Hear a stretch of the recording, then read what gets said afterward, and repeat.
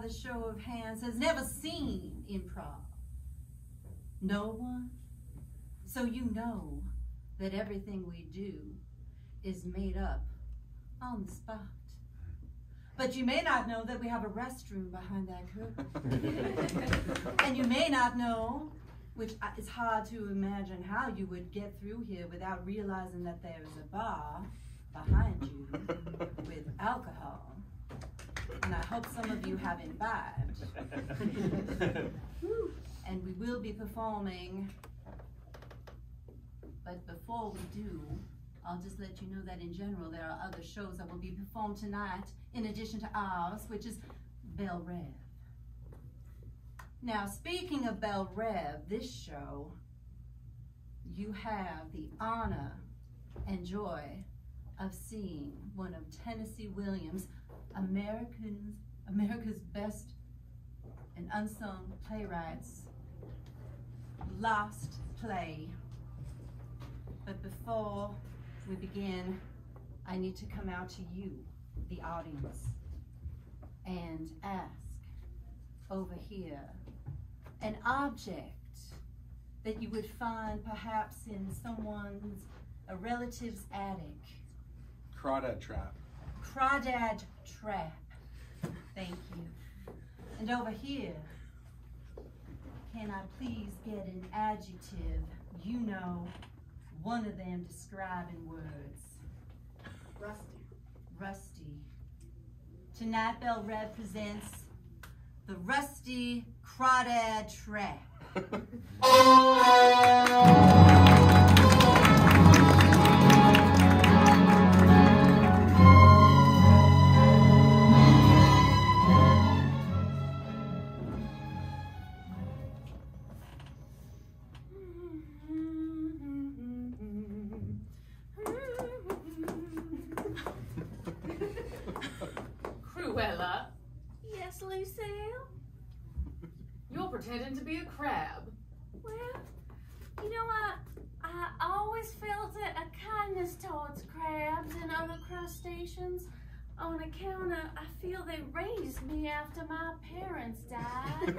I will say, the amount of time that you spent at the beach, Cruella, near all those crabs, almost drowning, one time basically drowning until the lifeguard came in to save you.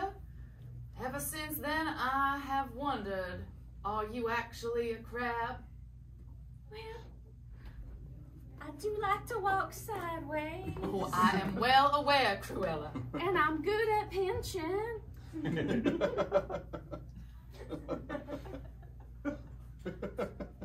Careful with those pinch pincers. You might pinch, pinch too much of my laundry. I could give you a massage. Oh, Cruella. wow. Lucille. no, I, I should go back to my shell. No, no. Cruella. I'm just doing the laundry for me and Roger, and Roger doesn't notice that I do anything anymore. Oh, how could he not notice you, Lucille?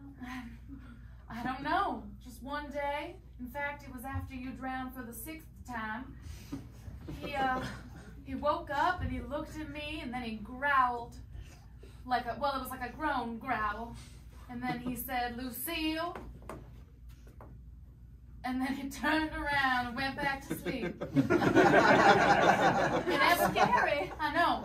And ever since then, he hasn't looked at me the same. And he hasn't noticed anything I've done around the house and just, I'm sorry, you touched, you touch the stress point on my neck and all of a sudden I'm spilling secrets like there ain't no tomorrow. You can tell me anything.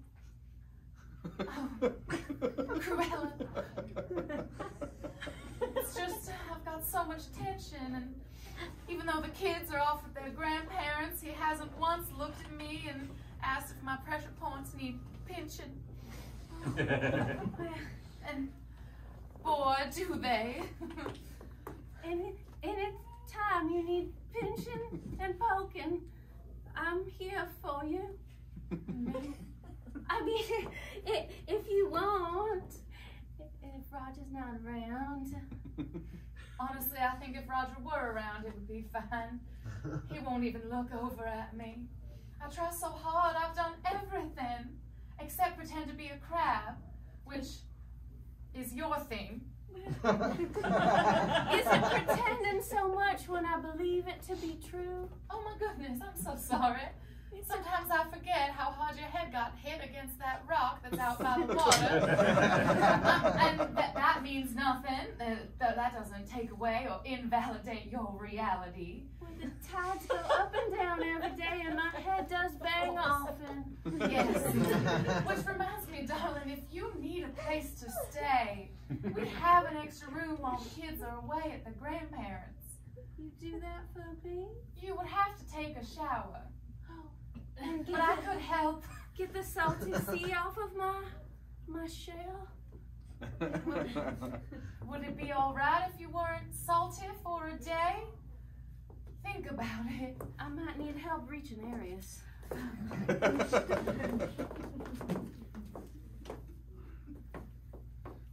Roger. That was a wonderful meatloaf. I know. Mama always said I was better at cooking than Lucille. I I absolutely agree.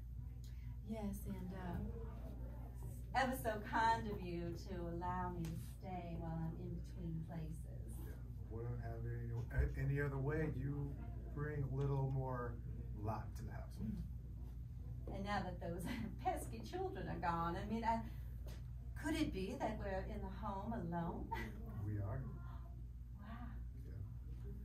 Wow. Yes, well, I think Lucille had a lot of laundry to do down at the river, so it might be a while before she gets home. Yes, it will. Might be far, far, far away before we see her again, and who knows what could occur. Anything could occur. I could make something else. I could make something hot and tasty that you love. Something flaky, perhaps. Something savory. Something savory would be. I remember that one time I was down here and I made those hot cross buns. Your buns are amazing. Yes. Easter. Mm-hmm. And I watched how you devoured it. Yep. Like I've never seen someone eat something They were so buttery, so, so smooth, smooth. and so tasty. Yes. Maybe I'll make some more. Special batch, hot and juicy just for you. Your, your, hot and juicy buns. Yes. Yes. Oh, Roger.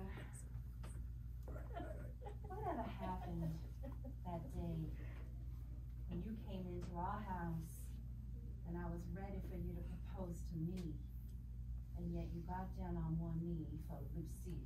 Yeah. Well, your father kind of put a shotgun to my head and forced me to choose her. Her being the older sibling, she didn't. He didn't think that she would be able to find anyone else. How charitable of him. You know. Re- Meanwhile, rest in peace. rest in peace. Fine. I'm still waiting for my inheritance, but it seems like it got stuck in Lucille's bank account. She hasn't distributed my funds yet, and now she's, she just takes everything from me, everything. I don't know if I can hang on anymore. We'll figure it out. I still dream of the life that we could have had, that we should have had, to the point that we will still have. Say such sweet things, but I don't know if I believe you anymore. Bless Oh, you. sister! Roger! I just finished our wash. Hi, everybody! What is Cruella doing here? Well, Cruella often is down by the river, obviously. Well, that's where she sleeps often. That looks nice. What a curious creature you are. Oh, oh ocean. That's not I'm gonna be staying for a little bit. Well, excuse me? Well, there are two beds in the children's room, and you only take up one of them. I have to be roommates with her? Yes. She doesn't have anywhere else to sleep. Don't worry, I'll bathe her. She smells like dirt and In the ocean? smell like spilled sea I do massage. With those pincers. Sister, you look so upset. I just, I, I was not prepared. I thought I would have the room to my own. Well, there's. I can't imagine a single woman like you has anything not to share. You should probably get used to sharing, just in case you find a husband any day now. You think because I'm single that I should have nothing that is not my own? Well, I would ra- rephrase that as you should start practicing living with another person. I'm that person. That's right, you are. I don't have nothing either. Well, I suppose I should at least get you on the nice bunk bed. You're gonna have to climb up to the top one. Let's go check it out. Does it go sideways? You'll be all right, Cruella. Thanks, sister. Oh no, thank you. Always so kind and thoughtful. Why, thank you. That's so sweet. Come this way. I see you're drinking early today. Uh, not early enough.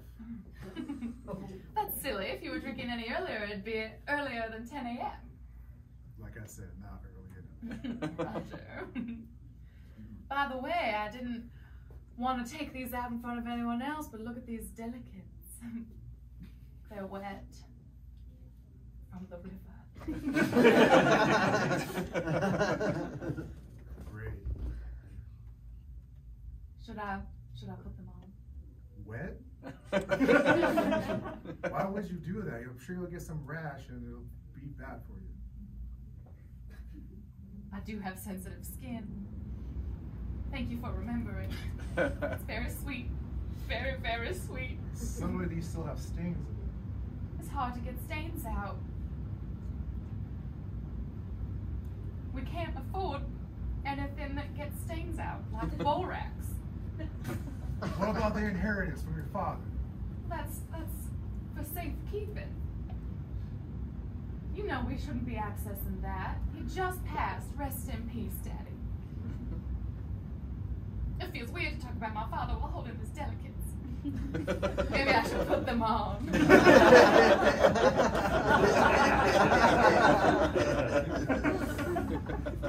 Somehow I think that'd be making it weird if we're talking about your father with the delicates. We don't have to talk about my father or money. We could oh. always. Are you looking away? I exposed my left shoulder, your favorite shoulder. We're in the kitchen and I have a shoulder exposed. And we don't have to talk about my daddy. We can talk about my shoulder and my sensitive skin. There's other delicates in here.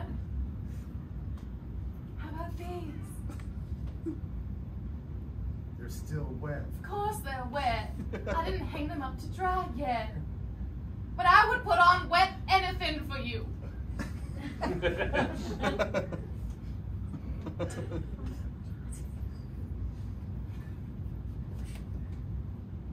Now your face got a little wet. Uh oh.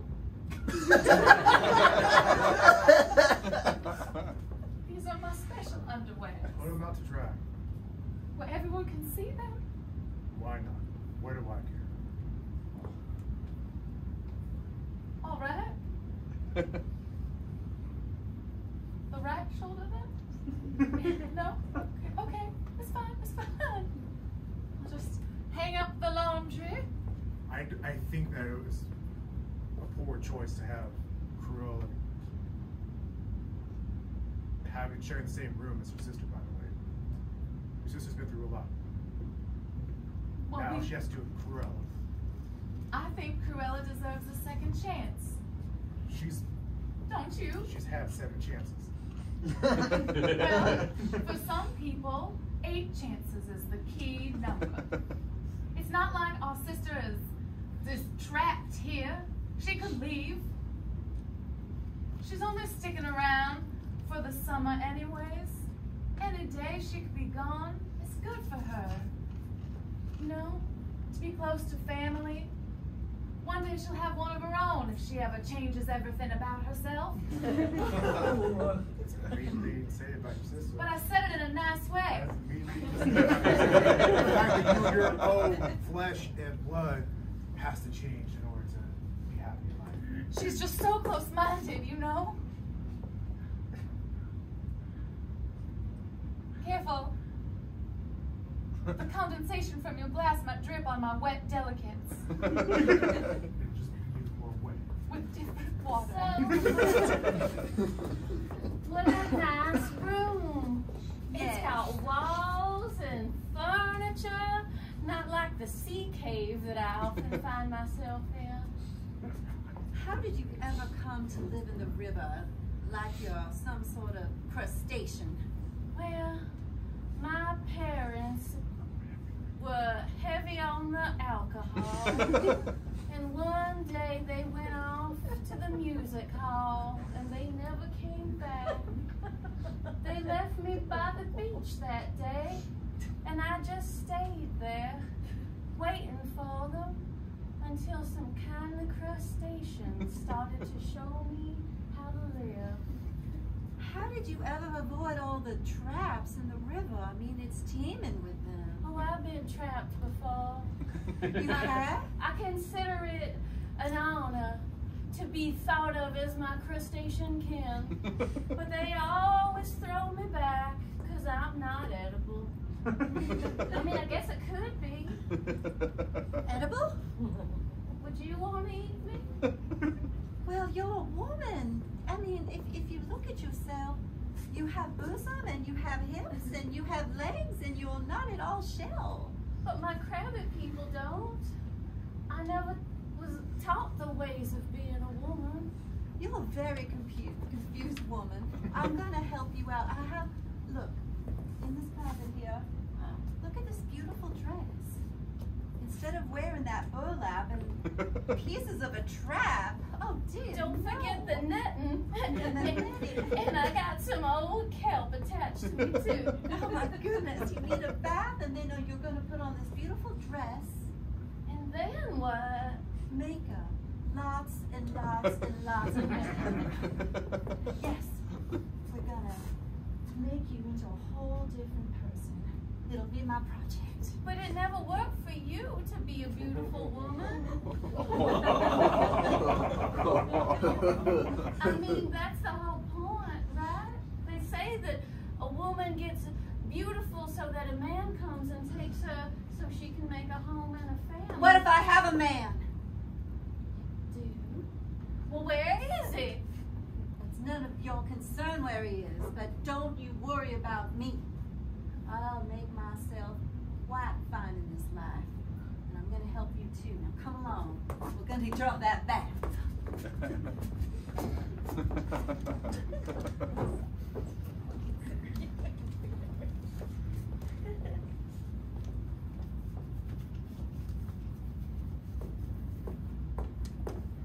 Roger, Lucille, I, I wanted to show you someone.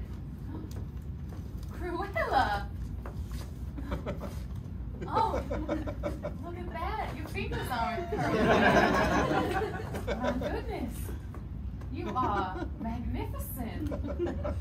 I feel like a person. You you are a person. And you smell like lavender. And Yes, honey. I, I put on some of my favorite perfume and it, and it, she's taken to it quite well. I can barely smell the rotten kelp. I still smell the rotten kelp. Oh, Roger, don't be a pill. You're man. Do I stand a chance? No, not at all. Come here. Now, Cruella, now that you are fetching, you have to understand there are boundaries of politeness and gentility. And taking somebody else's husband and making that sort of overture is not looked upon very well. I'm sorry I took you. The only reason he said no to you, even though of course gentility is important, is because he is a married man. Yes. But any other man or person would be honored to be with you. You want to see that with a straight face next time? Were you even looking? No. Exactly. I just heard it in your voice. Oh. Roger, Crackling voice. do try to be kind.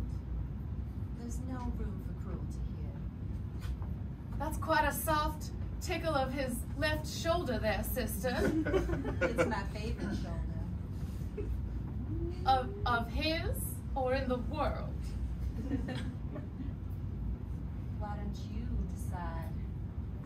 What's what's going on? Well, where's my inheritance? It's in the bank. It's too soon. Daddy wanted us to wait and make sure that we were set for for life. Not immediately. You alright? Okay, that's fine. That's fine. Yes, uh, you can do that. We're waiting. But I've lost my patience. Well, you have to have patience. He told me on his deathbed. Which where were you, by the way? I was elsewhere. Where? I was consoling her. Consoling her? I needed deep, penetrating consoling.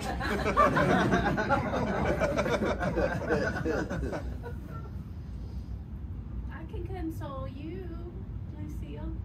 Thank you, Cruella. Must we paint it on a wall for you what is happening here? I might. I think I might be in denial. Everything you're saying is going into my ears, but something is blocking it from really going into the brain. Maybe because I don't want it to, because there's no way that the day after Daddy died, when you woke up in the middle of the night and you looked at me and you said, Lucille, and then you went back to bed, and ever since then, everything's been different. So that it can't be, that couldn't be. It's been this way forever. But even before Daddy died, Long before. It was only Daddy's insistence that he proposed marriage to you and not to me. Just because you were the oldest spinster sister. He didn't believe you'd be able to find a husband if I wasn't the one to do it. So I bided my time. But I knew eventually he would tire from the moment after you brought him those children. I am very fun and I am very beautiful, and you are a floozy. Oh, I'm sorry. That wasn't hot enough. and you! I've been throwing my wet delicates at you for ages. And you've never even liked them. But they are lovely wet delicates. Boy, they're wet and never dry. No one has ever complained about not about dryness.